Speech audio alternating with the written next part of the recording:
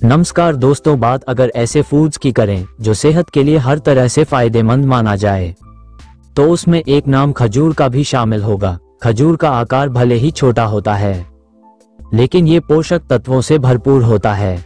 इसमें fibre, vitamin, mineral और antioxidants पाए जाते हैं, जो कई बीमारियों से हमारी रक्षा करते हैं और सेहत दुरुस्त बनाए रखने में हमारी मदद करते हैं।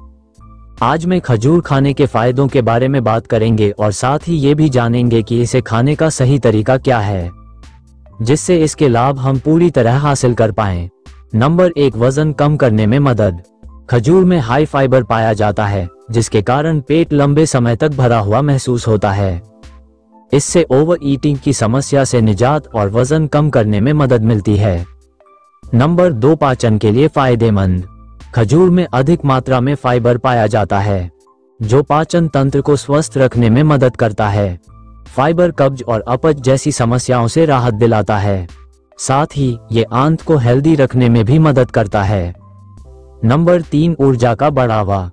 खजूर में नेचुरल शुगर होती है, जो आपको तुरंत एनर्जी प्रदान करती है। ये फल एक स्वस्थ और प्राकृतिक विकल्प है, जो आपको थकान और सुस्ती से लड़ने में मदद करता है। खजूर खाने से आप अपने दिन के कामों को अधिक ऊर्जा के साथ पूरा कर सकते हैं। नंबर चार, दिल का स्वास्थ्य।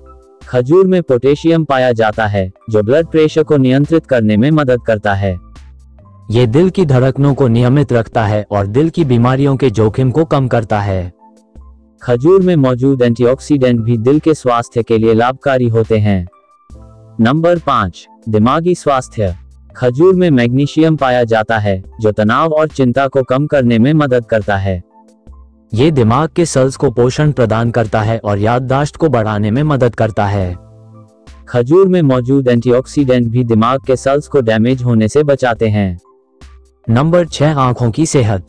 खजूर में विटामिन ए पाया जाता है, जो आँखों की रोशनी के लिए ज़रूरी है।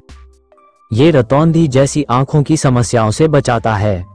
खजूर में मौजूद एंटीऑक्सीडेंट भी आँखों के सेल्स को नुकसान पहुँचने से बचाते हैं।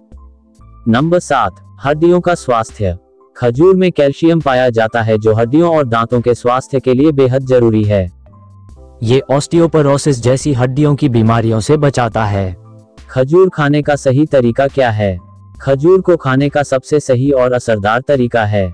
उसे रात को पानी में 8-10 घंटे भिगोकर रखना और अगले दिन उसे खाना।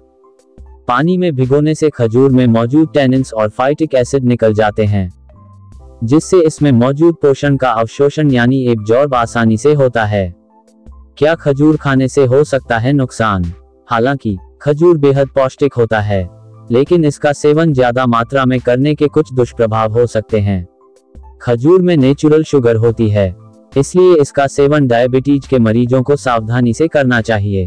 साथ ही, ज़्यादा मात्रा में खजूर खाने से वज़न कम होने की जगह बढ़ सकता है।